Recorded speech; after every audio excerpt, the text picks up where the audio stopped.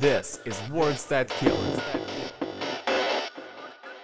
Uh, I think when you're dating, though, you just gotta be yourself, you know? Like, don't lie, just be you, you know? And I was recently tested, all right? I was tested hardcore yesterday at breakfast about being myself, all right? I ordered the eggs. This lady was like, How would you like those cooked? Over easy? And I almost said yes. But then I remembered who I was. All right, I'm a man who beat Mario 5 on expert. All right, Halo 3, I defeated the entire Covenant army on the hardest setting possible. So if it's easy, it ain't me.